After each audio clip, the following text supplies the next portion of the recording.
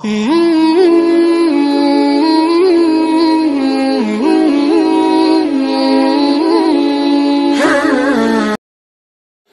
عليكم ورحمة الله وبركاته. مرحبا بكم في هذه الصوتية أو المحاضرة التي سنتحدث فيها عن ركن أساسي في العقد ألا وهو ركن الرضا. وكما نعلم بأن الرضا هي تعتبر الدعامة الأساسية لبناء العقود والمشرع تطلبها آه، لكي تكون يعني ليكون العقد صحيحا وغير باطل فإذا كان العقد غير متوفر على عنصر الرضا فنكون أمام البطلان لأن الرضا تعتبر ركن أساسي من أركان العقد. قلنا بأن وجود التراضي يلزم لوجود التراضي وجود الإرادة وتجسيد وجودها إلى العالم الخارجي. وذلك بالتعبير عنها واتجاه هذه الإرادة إلى إحداث أثر قانوني وهي بعد أن وجدت وتجسدت آه، لزمها أن تقترن بإرادة أخرى ليحصل التوافق بين الإرادتين على إحداث أثر قانوني وهو المعنى الذي يعطى عادة للعقد نفسه. لكن قبل أن يبرم العقد على النحو السابق فقد يحصل آه، أن يقدم له المتعاقدان بصفة ببعض أنواع التصرفات مثل العقود التمهيدية والوعد بالتعاقد أو أنهما يجعلانه. أي العقد موقوفا على واقعة معينة كما في العربون ولا يخل أن يصدر التعبير عن الرضا إما من المتعاقد نفسه وإما من الشخص ينوب عنه وهو ما يسمى النيابة في التعاقد. وقد يعبر أحد المتعاقدين عن رضائه تعبيرا يخالف حقيقته بمعنى أن إرادة المتعاقد آه، التي ظهرت بالتعبير عنها تخالفه لإرادته الحقيقية أو الباطنة.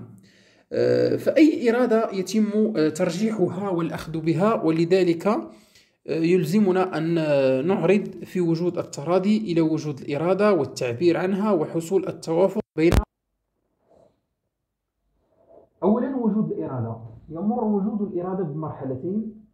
المرحلة الأولى تتوفر فيها الإرادة للشخص ويمكن تسمية وجود الإرادة في هذه المرحلة بوجود الفعل للإرادة ومرحلة ثانية يلزم فيها أن تتجه الإرادة الموجودة إلى إحداث أثر قانوني ويمكن تسمية وجود الإرادة في هذه المرحلة بالوجود الفاعل للإرادة. فبخصوص الوجود الفعلي للإرادة يلزم أن تكون الإرادة موجودة أصلا عند من يروم التعاقد وهي غير موجودة عند المجنون وفاقد العقل للسكر أو مرض أو التنويم أو ما شابه ذلك. وعند الصبي الغير المميز أي عديم الأهلية. أما بخصوص وجود الفاعل للإرادة فمعناه أن تتجه الإرادة إلى إحداث أثر قانوني وهو لن نكون آه، وهو لن تكون كذلك بالنتيجة تكون غير فاعلة. إذا كان المقصود من التعبير عن الإرادة عدم انصراف نية آه، الطرفين إلى الإلزام والالتزام ومن قبيل الإرادة الغير الفاعلة المجردة عن الأثر القانوني صدور التعبير من أحد الأشخاص إلى آخر بحضور وليمة. ما أو القيام بعمل مجاني في إطار المجاملات. وكذلك التعبير عن الإرادة في دائرة العلاقات الأسرية من غير أن يرقى التعبير إلى درجة وجود الفاعل للإرادة. ثانيا التعبير عن الإرادة. أشكال التعبير عن الإرادة. الثابت في القانون العقدي وانطلاقا من مبدأ الرضائية أنه يجوز التعبير عن الإرادة بكافة الوسائل الممكنة التي تحمل الإرادة أو تحمل الإرادة إلى علم المتعاقد معه.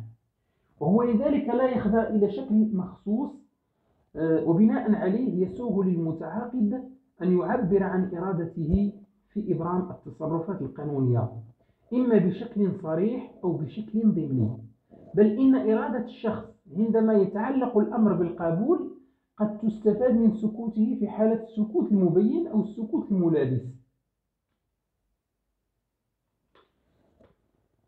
أولا التعبير الصريح عن الإرادة. يكون التعبير صريحا إذا أفصح عن الإرادة بطريقة مباشرة أي بوسيلة تكشف عن الإرادة حسب المألوف بين الناس. أو إذا كان يعني المظهر الذي اتخذه مظهرا موضوعا في ذاته للكشف عن الإرادة حسب المألوف بين الناس. ويكون التعبير صريحا إذا تم بواسطة الكتابة أو اللفظ أو الإشارة المتداولة عرفا. وكذلك يكون التعبير صريحا إذا نتج عن اتخاذ موقف لا تدع ظروف الحال شكلا في دلالته على حقيقة المقصود. فالتعبير بالكتابة عبارة عن مضمون مخطوط أو مضمون محرر قد يكون محمولا بدعامة هادية في شكل أوراق أو مراسلات أو برقيات أو خطابات أو غيرها من الأمثلة. وقد يكون محمولا على دعامة إلكترونية في شكل أقراص صلبة أو مرنة أو بطاقات أو مفاتيح التخزين فالكتابة إذا وسيلة لنقل التعبير عن الإرادة من متعاقد إلى متعاقد آخر. في شكل واضح يفهمه ولا يلزم أن تكون الكتابة بلغة معينة بل يمكن أن تكون بلغات أجنبية وبطرق مختلفة. أما بالنسبة للتعبير باللفظ كل تعبير ينجزه اللسان سواء بطريقة مباشرة ويدخل في حكمه مختلف الصيغ اللفظية التي يتلفظ بها المتعاقد التي التي تعارف عنها الناس أو من طريق غير مباشر كما يحصل عادة عن طريق استعمال وسيلة للنقل اللفظ من غير اللسان. ومثاله الهاتف وغرف المحادثة وغيرها. ويكون التعبير عن الإرادة أيضا بالإشارة وبالإشارة حركات وإيماءات يستعملها غير القادر على الكتابة والخطاب. ويشترط فيها أن تكون متداولة عرفا وذات مدلول واضح. ومثالها تحريك الرأس عموديا للدلالة على القبول وتحريك أفقيا للدلالة على الرفض. وأخيرا قد يكون التعبير عن الإرادة باتخاذ موقف. لا تدع الظروف الحال شكا في دلالته على حقيقة المقصود. ومن أمثلة ذلك عرض التاجر بضاعته مرفوقة بثمنها أو وقوف سيارة الأجرة في المكان المخصص لها أو عرض بعض الأجهزة والآلات التي تقدم خدمات معينة إلى الجمهور أو ما يسمى الآن بالموزع الإلكتروني. ثانيا التعبير الضمني عن الإرادة. قلنا كاين ما يسمى بالتعبير الصريح. عن الإرادة وكاين ما يسمى بالتعبير الضمني عن الإرادة. يكون التعبير ضمنيا عندما لا يكون مظهره في ذاته موضوعا للكشف عن الإرادة ولكنه يفترض وجود الإرادة. أو عندما لا يكشف عن الإرادة بطريقة مباشرة أو إذا كان يقتضي ممن وجه إليه تفسيرا خاصا لكي يعده, يعده تعبيرا عن الإرادة. ومثال التعبير الضمني. أن يقوم المو... آه، يعني الموعود له في الوعد بالبيع بالتصرف في الشيء الموعود به. فتصرف هذا من حيث ذاته لا يكشف عن إرادة القبول ولكنه مع ذلك يفترض وجود هذه الإرادة لوجود ظرف دل على وجودها وهو التصرف في الموعود به. وكذلك المكتري يظل واضعا يده على العين المكسرات من غير أن يعبر المكري عن اعتراضه. فموقف المكتري يعبر عن التعبير الضمني بقبول تجديد الكيان. وكذلك الدائن يسلم سند الدين إلى المدين يعد تعبيرا ضمنيا من الدائن بإنهاء الدين لفائدة المدين ما لم يثبت خلافه. ومن أمثلة ذلك كثيرة. أه، ولا فرق بين التعبيرين يعني التعبير الصريح والتعبير الضمني من حيث الأثر مترتب عنهما. فكلاهما يؤثر يعني أو ينتج أثارا واحدة. وهو الإلزام والالتزام لكن يبقى الفرق قائما بين التعبيرين من حيث فرضية اشتراط المشرع للتعبير الصريح وهنا تظهر قيمة هذا التعبير. آه، على حساب التعبير الضمني. ثالثا القيمة التعبيرية للسكوت بداية نقول إن السكوت لا يصلح للتعبير عن الإيجاب لأن الإيجاب بوصفه عرضا يوجه من أحد المتعاقدان إلى المتعاقد الآخر. ينبغي أن يستفاد من مسلك إيجابي ولا يمكن أن يستفاد من مجرد السكوت وهو مسلك سلبي. وإذا تم استبعاد السكوت للتعبير عن الإيجاب فهل يصلح السكوت للتعبير عن القبول؟ نرجع الإجابة على هذا السؤال إلى حين الحديث عن القبول. إذا توافق الإرادتين. سبق أن العقد هو توافق إرادتين على إحداث أثر قانوني وهذا التوافق هو التراضي ذاتي. وينصرف التوافق أولا إلى تعدد الإرادات التي هي الإيجاب والقبول وثانيا إلى اقتران هذه الإرادات ببعضها البعض. أولا الإيجاب شنو كنقصدوا بالإيجاب؟ الإيجاب آه، هو تعبير عن الإرادة معلن وكامل يعرض به شخص على آخر إبرام عقد. ومن هذا التعريف نستخلص الشروط التالية. أولا الإيجاب تعبير معلن عن الإرادة. ثم الإيجاب تعبير كامل عن الإرادة. شنو كنقصدوا بالإيجاب التعبير المعلن عن الإرادة؟ معنى أن يكون الإيجاب تعبيرا معلنا عن الإرادة. وهو أن الإيجاب تعبير واجب التسلم. ينبغي إعلانه لشخص آخر حيث يفقد الإيجاب قيمته القانونية. إذا لم يعلن عنه أو لم يوجه إلى شخص الموجب له. الإيجاب تعبير كامل عن الإرادة ومعنى أن يكون التعبير عن الإيجاب كاملا أن يتضمن الإيجاب كافة العناصر الأساسية للعقد. المراد إبرامه بحيث لا يكون إبرام العقد متوقفا سوى على موافقة الموجب له. فالإيجاب بالبيع يجب أن يتضمن الثمن والمبيع والإيجاب بالكراء يجب أن يتضمن العين المكسرات وأجرة الكراء. فتحديد هذه العناصر الأساسية في عقد البيع والكراء تجعل الإيجاب تعبيرا كاملا عن الإرادة بحيث لا يتوقف إبرامهما سوى على موافقة المتعاقد الآخر.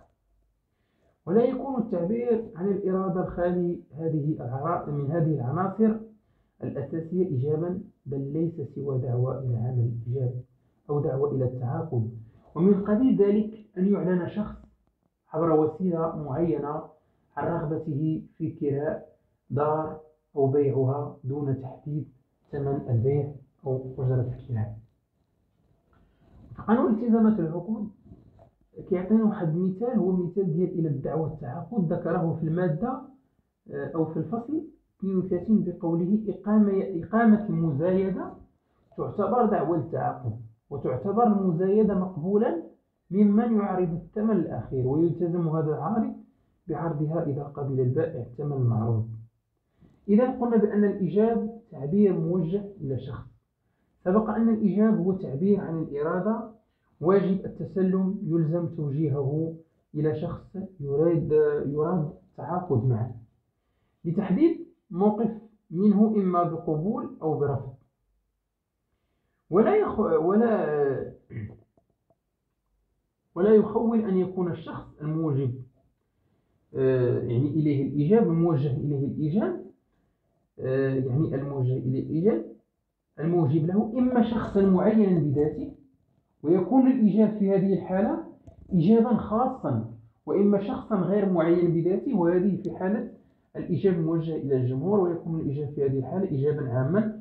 ولا إشكال يثار حالما يتعلق الأمر بالإيجاب الخاص ولكن الإشكال يثار إذا تعلق الأمر بالإيجاب العام.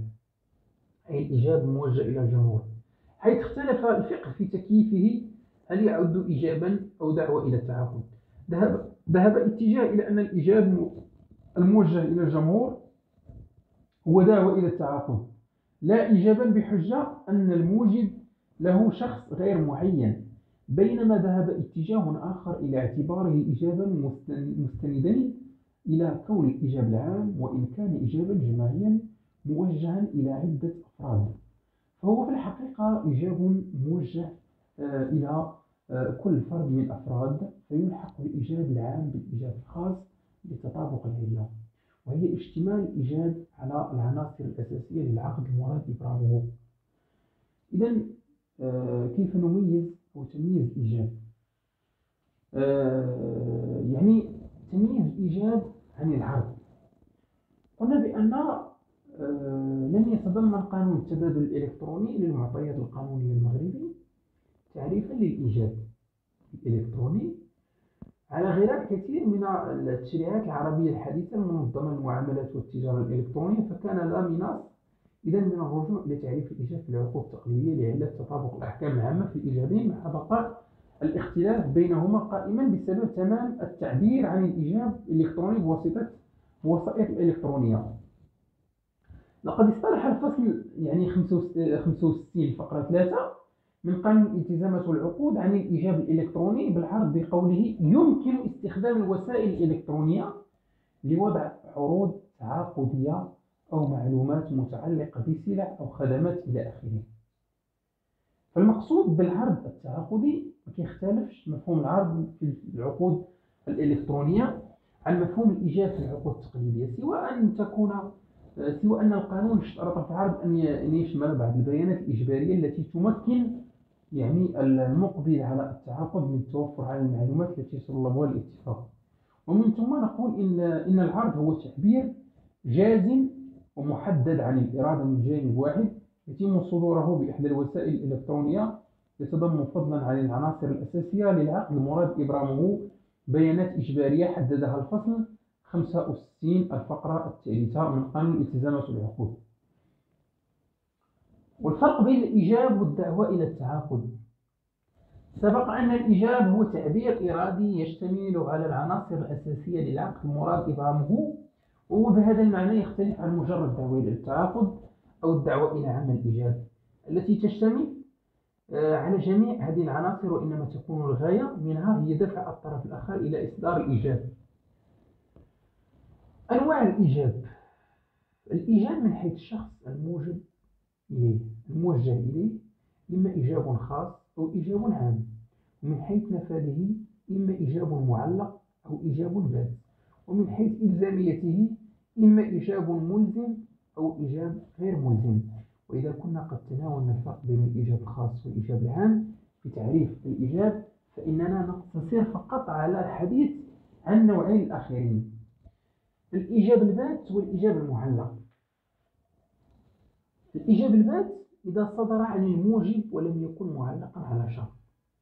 وهذه الحالة العادية للإيجاب. أما الإيجاب المعلق هو ما صدر عن الموجب وكان معلقا على شرط. ومثاله من يعرض بيع شيء بثمن يحتفظ بتعديله تبعا لتغيير الأسعار. أو من يعرض بيع بضاعة على الجمهور بثمن معين مع جعله الكمية محدودة. فالاحتفاظ بتعديل الثمن وتحديد الكمية شرطان علق عليهما الإيجاب بالبيع. وإذا كان الإيجاب البات إيجابا كاملا يصلح لأن يقترن به القبول. فإن الإيجاب المعلق ليس سوى دعوة للعمل الإيجابي أو دعوة للافتتاح المفاوضات. إذا الإيجاب الملزم. قلنا بأن الإيجاب الملزم أو المقيد والإيجاب الغير الملزم المطلق. الإيجاب المطلق أو الغير الملزم الأصل في الإيجاب خاصه يكون مطلق. غير مقيد بمدة محددة وحيث يكون كذلك فإنه يجوز للموجب آه، أو الموجب الرجوع فيه طالما أن الموجب له لم يقبله أو لم يشرع في تنفيذه. العقد وفي هذا المعنى قد الفصل 26 من قانون التزامات العقود بأنه يجوز الرجوع في الإيجاب ما دام العقد لم يتم آه، لم يتم بالقبول أو بالشروع في تنفيذه من الطرف الآخر. وهكذا لو أن تاجرا عرض على صانع آه، أو آه، أن يصنع له بضاعة معينة فإن التاجر لا يتقيد بإيجابه فله أن يعدل عنه ما دام أن الصانع لم يقبل إجابه ولم يشرع في صنعه البضاعة أو كما لو أن شخصا عرض على نجار أن يصنع له دولابا فإن الشخص لا يتقيد بإيجابه طالما, طالما لم يقبله النجار أو لم يشرع هذا الأخير في صنع الدولاب أما بالنسبة للإجاب المقيد أو الملزم لكن قد يقيد يقيد الموجب إجابه بمدة معينة قد تكون صريحة وقد تكون ضمنية. الإجابة المقيد بمدة محددة يكون الإجابة ملزما له طوال المدة التي حددها له صراحة. ولا يتحلل الموجب من إلزامه إلا بعدم وصول الرد بالقبول من طرف الموجب له. وفي هذا المعنى نص الفصل 29 من القانون المذكور على أنه من تقدم بإيجاب مع تحديد أجل للقبول بقي ملتزما تجاه الطرف الآخر إلى انصرام هذا الأجل ويتحلل من إيجابه إذا لم يصله رد بالقبول خلال الأجل المحدد. الإيجاب المقيد بمدة ضمنية. وتتحقق هذه الفرضية عندما يصدر الموجب إجابا في التحقق بالمراسلة دون أن يحدد له مدة. فيبقى الموجب والحالة هذه مقيدا بإيجابه طوال المدة المعقولة اللازمة للوصول الرد من الواجب له أو الموجب له. ما لم يكون الموجب قد عبر للموجب له عن رغبته الصريحة في عدم التقييد بالمدة العادية المعقولة وهنا يكون الموجب في حل في حل من مدة الإيجاب وفي هذا المعنى ذكر الفصل الثلاثون من قانون الالتزامات والعقود أنه من تقدم بإيجاب عن طريق المراسلة من غير أن يحدد أجلا يبقى ملتزما به إلى الوقت المناسب للوصول رد المرسل إليه داخل أجل معقول ما لم يظهر بوضوح من الإجابة عكس ذلك. والعبرة في المدة سواء كانت صريحة أو ضمنية هي بالمدة اللازمة للوصول التصريح بالقبول حيث يتحلل الموجب من إيجابه بفواتها دون استلامه التصريح بالقبول. ولو كان الموجب له قد صرح بقبوله في الوقت المناسب لكن تصريحه لم يصل إلى الموجب إلا بعد آه، فوات المدة المناسبة اللازمة لاستلام تصريح القبول ويبقى للموجب له الحق في اقتداء التعويض من الجهة التي تسببت له في تأخير وصول تصريحه بالقبول في الوقت المناسب. وفي هذا المعنى آه، قررت الفقرة الثانية من الفصل الثلاثون من قانون الالتزامات والعقود ما يلي وإذا صدر التصريح بالقبول في الوقت المناسب ولكنه لم يصل إلى الموجب إلا بعد انصرام الأجل الذي يكفي عادة للوصول إليه فإن الموجب أو الموجب له لا يكون الموجب لا يكون ملتزما مع حفظ حق الطرف الآخر في طلب التعويض من المسؤول قانونا. إذا مسقطات الإجاب آه، المقصود بمسقطات الإجاب أسباب سقوطه ويسقط الإجاب بأسباب إرادية تتصل بإرادة الموجب أو بإرادة الموجب له وبأسباب غير إرادية تترجع إلى موت الموجب أو إلى فقد أو نقص آليته. يعني المسقطات الإيجابية الإرادية. يسقط الإيجاب إذا ألغاه الموجب بعد أن أرسله على نحو يصل معه إلى إلغاء وصول الإيجاب. ثم يسقط الإيجاب إذا سحبه الموجب قبل قبوله من طرف الموجب له في مجلس العقد. كما يسقط الإيجاب عند رفضه من الموجب له بصرف النظر عما إذا كان الإيجاب ملزما أو غير ملزم سواء كان الرفض مطلقا أو في شكل إيجاب جديد يلغى الإيجاب الأول. ثانيا مسقطات الإيجاب غير الإرادية. يسقط الإيجاب كذلك إذا مات الموجب أو فقد أهليته. وهكذا يسقط الإيجاب إذا مات الموجب بعد توجيهه الإيجاب إلى الموجب له وقبل أن يعلم هذا الأخير به. أما إذا صدر القبول عن الموجب له قبل علمه بموته الموجب فإن الإيجاب يعتبر موجودا مرتبا أثره الملزم في ذمة الورثة وكذلك يسقط الإيجاب إذا فقد الموجب أهليته بنفس الشروط السابقة. وفي الحالتين قضى الفصل 31 من قانون التزامات العقود بأن موت الموجب آه، أو نقص أهليته اضطرأ بعد إرسال إجابه آه، لا يحول دون إتمام العقد إذا كان إن كان من وجه من وجه إليه الإجابة قد قبله قبل علمه بموت الموجب أو يفقد أهليته. يعني الفقرة الثانية وهي فقرة القبول ماذا نقصد بالقبول القبول له تعريف وله أنواع وله يعني أشكال كثيرة. إذا آه، سنقوم بشرحها الآن. القبول شنو كنقصد به؟ هو تعبير بات عن الإرادة. يوجهه الموجب له إلى الموجب يضمنه رغبته في إبرام العقد مع الموجب بذات الشروط الواردة في الإيجاب أولا تعبير عن القبول أسلفنا القول إنه لا يشترط في صدور التعبير عن الإرادة أي شكل مخصوص قد يصدر التعبير بشكل صريح أو بشكل ضمني والقانون بوصفه تعبيرا عن الإرادة يخضع لذات القاعدة ولكن هل يمكن أن يستفاد القبول من السكوت؟ لا ينسب إلى ساكت القول. هذه قاعدة في قانون الالتزامات العقود تقول بأن لا ينسب إلى ساكت القول.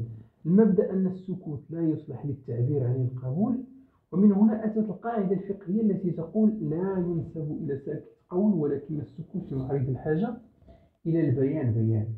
وتعتبر هذه القاعدة التي يرجع أصلها إلى الفقيه ابن نجيم قاعدة عادلة. فلا يلزم الساكت بسكوته ما لم يكن ملزما بالرد والقول بخلاف هذا المبدأ يفضي إلى نتائج غير محمودة. على المستوى الاجتماعي إذ يصبح كل شخص تلقى إجابا ثم سكت معرضا أو معرضا لأن يعد قابلا ما لم يبادر إلى إعلان رفضه للإجابة وفي هذه النتيجة ما فيها من ظلم وتعسف والاعتداء على حرية الأفراد الذين يجدون أنفسهم مجبرين والحالة هذه هي على رفض كل إيجاب يتلقونه إنهم أرادوا استبعاد صفة القابل عنهم وما يترتب آه، عليها من نتائج قانونية. ولهذه الأسباب وضع المبدأ في القاعدة الفقهية السابقة لا ينسب إلى ساكت قول أو من سكت لم يقبل. ولكن السكوت في معرض الحاجة إلى البيان بيان وإن كان المبدأ يقول لك أن السكوت يعد مجرد من أي قيمة تعبيرية للدلالة على القبول فإن ثمة ظروف تلابس السكوت أو حالة تتصل به فتجعله قبولا للإيجاب من الساكت. وفي هذه الحالة ينسب إلى الساكت سكوته وبالتالي يستفاد من سكوته أنه قد قبل ويسمى السكوت في هذه الحالة السكوت الملابس أو السكوت المبين. وهذه الظروف هي التي أشارت إليها القاعدة الفقهية السابقة حينما ذكرت أن السكوت في معارض الحاجة إلى البيان بيان. ومعناه أن الموجب له آه، وقد كان المطلوب منه أن يعبر بالقول عن رده للبيان موقفه ولكنه حينما لم يفعل عد سكوته بيانا أو قبولا. قد تحصل الظروف أو الحالات التي تلابي السكوت فتجعله قبولا فيما يلي. أولا المعاملة السابقة بين المتعاقدين. قد تكون أحد المت... يعني معاملات سابقة مع أحد المتعاقدين مثل آه، مشتري أحد الزبناء يشتري من البائع مثلا آه، أحد الملابس. هذه الملابس الشخص المشتري تعود على شرائها بنفس الثمن فأصبح هذا الشخص لن يسأل البائع كم ثمنها إذا كاين ما يسمى بعادة المهنة آه، كاين ما يسمى بالإيجاب المتمحص لمصلحة من موجهة إليه. الكثير من الأمثلة تدل على السكوت. ثم ما هي شروط القبول أولا شروط القبول خاص وجوب اقتران آه، القبول بإجابة آه، قائم. ثانيا وجوب مطابقة القبول للإجابة. وجوب اقتران القبول بإجابة قائم خاص آه، عندما يقوم هذا الشخص أي الشخص يعني الذي يريد أن يبرم أحد العقود أن يوجه قبوله ولكن أن يكون كذلك يعني الإيجاب قائم. بمعنى أن يكون في نفس الوقت. ثم كذلك وجوب مطابقة القبول للإيجاب فخاص يعني القبول أن يكون مطابقا للإيجاب. بمعنى الشخص الذي يريد أن يبحث عن عمال فهذا يوجه إجابه ولكن قد يوجه هذا الإجابة في مدة محددة مقيدة. لكن الشخص الذي يريد أن يتعاقد معه يكون على دراية بأن الشخص أن أن التعاقد أو أن العقد الذي يريد أن يبرمه فهو لفائدة العمل أي أن الشخص تكون عنده دراية بأن آه، يعني ما سبب آه، إنشاء العقد. ثالثا اقتران آه، القبول بالإيجاب. يشترط لإبرام العقد أن يقترن يعني القبول بالإيجاب سواء كان تعاقدا تعاقدا بين حاضرين أو ما في حكمه كالتعاقد بطريق التليفون أو يعني بالهاتف أو التعاقد بالمراسلة أو التعاقد بوسيط أو رسول أو كان التعاقد بوسيلة إلكترونية وهو ما يسمى بالتعاقد الإلكتروني إذا هنا في هذه الحالات أشكال يعني اقتران القبول بالإيجاب فهي متعددة فقط أنها تنصب في اتجاه واحد تعتبر صحيحة. إذا التعاقد بين شخصين حاضرين فهذه المسألة مسألة آه، تحتاج إلى التركيز. فمثلا هذا الشخص يعني بين حاضرين فهذه مسألة عادية. أما المسألة يعني الصعبة وهي مسألة يعني التعاقد بين شخصين غائبين. قلنا بأن التعاقد بين شخصين حاضرين يتعين صدور القبول في مجلس العقد. إذا كان التعاقد بين شخصين حاضرين يسمع أحدهما الآخر ومعنى مجلس العقد وهو المجلس الذي يتم فيه التعبير عن الإيجاب والقبول. فيتطابقان فيه ويقترنان فيتم العقد أو هو المدة الزمنية الممتدة والطرفان مقبلان فيها على التعاقد دون إعراض من أحدهما. بعد الإيجاب. وقد رجع فكرة مجلس العقد إلى الفقه الإسلامي واستمدتها بعده التشريعات العربية الحديثة فقد اختلف الفقهاء في تحديدهم لمجلس العقد. متى يبدأ ومتى ينفذ؟ فمنهم من اشترط الفورية في مجلس العقد حيث أوجب أن ينطلق آه، المجلس بالإيجاب وينتهي بعدم صدور القبول فور صدور الإيجاب إذا التعاقد بين شخصين غائبين. قد يتعاقد الشخصان مع وجود فاصل زمني ومكاني بينهما فيثار مشكل تحديد الزمن والمكان الذي يبرم فيهما. العقد ذلك ما سوف نعالجه في النقطتين الآتيتين. إشكالية تحديد زمان ومكان العقد مبرم بين غائبين. ظهرت لي دراسة التعاقد بين غائبين نظريات عديدة. ومختلفة تضم نظريات آه، تضم نظريات إعلان القبول ويلحق بها نظرية تصدير القبول ثم نظرية العلم بالقبول ويلحق بها نظرية استلام القبول. أريد منكم أن تركزوا معي في آه، تحديد إشكالية زمان ومكان العقد المبرم بين غائبين. لأن هذه الإشكالية إذا فهمتها ستستهل عليكم كثير من الأمور في مادة القانون الالتزامات والعقود. أولا المذاهب اللي آه، اللي فصلت بين هاد يعني الفقهية اللي فصلت في تحديد زمان ومكان إبرام العقد. خلينا ننطلقوا من المثال التالي. أريد منكم أن تركزوا. أوجب محمد أوجب محمد التاجر أوجب محمد التاجر الموجود بمدينة الجديدة محمد التاجر هذه مسألة الموجود بمدينة الجديدة لخالد التاجر الموجود بمكناس آه، من أجل بيعه بضاعة معينة بثمن معين. وأن خالدا هذا قبيل الإيجاب. آه، يعني خالد الموجود بمكناس. قبل الإيجاب من أحمد. بتاريخ 17 من ذي الحجة وأرسله بتاريخ 18 من نفس الشهر. فوصل إلى أحمد بتاريخ 21 من نفس الشهر. والذي لم يعلم به إلا يوم ثالث وعشرون من الشهر المذكور.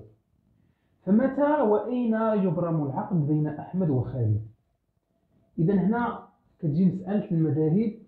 أولا جاءنا مذهب إعلان القبول. حاول أنصار هذا المذهب أن يطرحوا جملة من التساؤلات مجيبا مجيبا مجيبين عنها. كالتالي ما المقصود بالعقد؟ قال لك بأن العقد هو توافق إرادتين ولكن متى يحصل هذا التوافق؟ إذا اتجهت الإرادتين الإرادات صوب نفس النتيجة. وفي أي وقت بالذات يتحقق ذلك. في الوقت الذي يتخذ القابل قراره بالقبول ومعناه أن, يت... أن التوافق المنشئ للعقد يحصل بصدور القبول. إذا ففي هذا الوقت بالذات ينعقد العقد تاما بين طرفيه ولا يهم ولا يهم إذا كان القبول لم يصل إلى الطرف المنشئ بيد أن معرفة الوقت الذي يتخذ فيه القابل قراره بالقبول شيء بعيد المنال لأن علمه ذاتي من كوامن النفس يتعذر إثباته ولذلك كان لا مناص لكي يرتب القبول. أثره القانوني من تجسيد إرادة القابل في شكل مظهر خارجي معبرا عنه مصرحا به. كان يكتب آه، القبول في شكل رسالة مثالا في المثال السابق ينعقد العقد بين آه، محمد وخالد حسب هذا المذهب يوم السابع عشر من ذي الحجة بمكناس بمدينة مكناس. مدينة القابلة. ثم المذهب الثاني هو المذهب تصدير القبول كيقول لك بأن هذا المذهب ما يمكنش الوقوف عند حد إعلان القبول للقول بتمام العقد لأنه قد تخط رسالة رسالة القبول ويجسد هذا في شكل إرادة معبرا عنها ولكن من يسلم بتمام ونهائية هذه الإرادة التي تم التعبير عنها فقد تمزق تمزق الرسالة. وقد تلغى ما دام الموجب لم يعلم بمضمونها. كل ذلك كان سببا آه، برر قيام هذا المذهب الفقهي الآخر. وقال لك بأن إذا وقعت شي مشكلة لهذه الورقة ولا شي حاجة ولا تحطلات فغادي يكون يعني آه، بين آه، يعني يعني المسألة اللي وقعت لنا بين محمد وخالد. فهي في اليوم الثامن من هذا من شهر ذي الحجة بمدينة فاس. إذا المذهب وصول أو استلام القبول. ومع ذلك لا يسوغ أو الوقوف عند هذه الحدود لأنه ليس من المحظور آه، يعني آه، على القابل استرداد آه، كتاب قبوله ما دام لم يصل إلى حوزة الموجب حيث يستطيع فضلا عن إمكانية استرداد استرداده إلغاءه من خلال إرساله برقية تصل قبل أو مع وصول القبول ذاته ولا يمنع على القابل استرداد قبوله إلا إذا وصل آه، هذا الأخير إلى الموجب. وهذا هو مذهب الوصول أو استلام القبول إذا في نظر هذا المذهب يقول لك بأن الرسالة غادي توصل أو غادي ينعقد العقد في 21 من شهر ذي الحجة بمدينة الجديدة ثم بعد ذلك المذهب الأخير هو مذهب العلم بالقبول. وهو المذهب الذي تعتبر المذهب الأخير اللي كي آه، كيقول لك بأن العقد فخصو ينعقد في يوم ثالث وعشرون من شهر ذي الحجة بمدينة الجديدة آه، ثم النتائج اللي كترتب على هذا الزمن انعقاد العقد. كتلخص هذه النتائج مبدئيا في تحديد الوقت الذي لا يستطيع فيه التعاقد العدول عن إرادته وفي تحديد الوقت الذي نبدأ عنده أثاره العقد. متى يمنع المتعاقد من العدول عن إرادته؟ تظهر الأهمية تحديد زمان العقد. هنا في تحديد الوقت الذي لا يستطيع الموجب بعده أن يعدل عن إيجابه إذا كان الإيجاب غير ملزم. وكذلك الوقت الذي لا يكون للقائل بعده أن يعدل عن قبوله. فهذا وذلك يختلفان بحسب ما إذا كان العقد يتم وقت إعلان القبول أو وقت العلم بالقبول.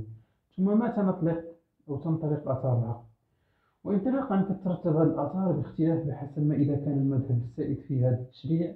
أو ذاك هو مذهب إعلان القبول أو مذهب علم آه العلم به موفقا لذلك الإعلان لأن نتائج تحديد مكان الانعقاد العقد أو بصفة عامة موقف قانون الالتزامات والعقود في هذه المسألة. آه كنص الفصل 24 من قانون الالتزامات والعقود يكون العقد الحاصل بالمراسلة تاما في الوقت والمكان الذين يرد فيهما من تلقى الإجاب بقبوله. والعقد الحاصل بواسطة رسول أو وسيط يتم في الوقت والمكان الذين يقع, يقع فيهما رد من تلقى الإجاب للوسيط بأنه يقبله.